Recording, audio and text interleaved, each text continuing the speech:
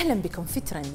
تعقيم المنشأة ومرافقها بصورة دورية مجدولة وتوفير المعقمات عند المداخل وأنحاء الصالات تعد أهم الإرشادات اللي تضمنها الدليل الإرشادي اللي نشرته وزارة شؤون الشباب والرياضة عبر حسابها الرسمي في إنستغرام بمناسبة عودة النشاط الرياضي في الصالات الرياضية والملاعب الخارجية والأكاديميات الرياضية بعد إغلاق دام عدة شهور بسبب الإجراءات الاحترازية من جائحة فيروس كورونا. وبناء على توصيات الفريق الوطني الطبي للتصدي للفيروس.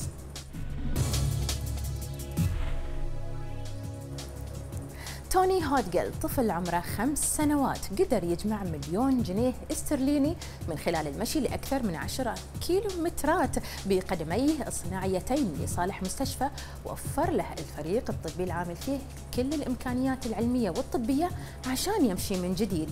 وقال توني أن التحدي كان ممتع على الرغم من صعوبته في البداية إلا أنه كان متحمس لمساعدة المستشفى اللي أنقذ حياته.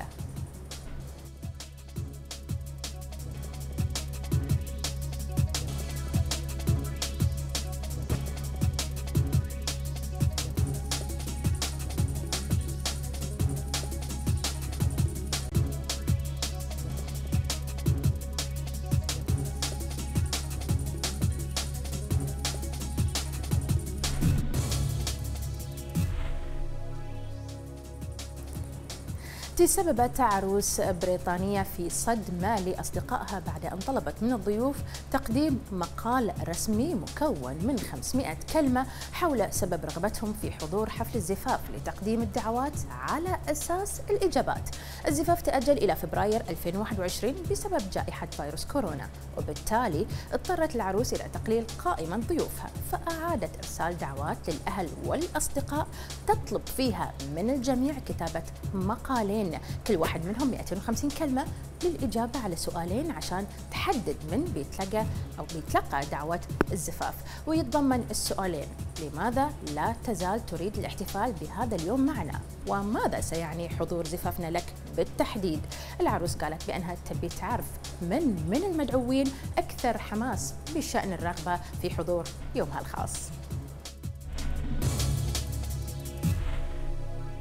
مئات الآلاف من المشاهدات على يوتيوب حصدها اليوتيوبر الإندونيسي محمد ديدت بكل سهولة وبساطة. فكل اللي سواه هو الجلوس أمام الكاميرا لمدة ساعتين والتحديق بها دون أن يتحرك أو ينطق بكلمة واحدة. السبب اللي خلى ديدت يقوم بهذه التجربة هو طلبات من بعض مشاهديه لنشر فيديو تعليمي إيجابي للتغيير. فقال ساعتين من ولا شيء كان كل ما يمكن أن أقوم به. بصراحة لم أكن أتوقع أن ينتشر الفيديو بهذه الطريقة. الطريقة كل ما أردته هو إنشاء فيديو ممتع للمشتركين. هذا الفيديو الغريب حقق انتشار واسع في مواقع التواصل الاجتماعي في إندونيسيا والمفاجأة أن العديد من الأشخاص حاولوا تقليد تجربة ديدت ولكنها باءت بالفشل.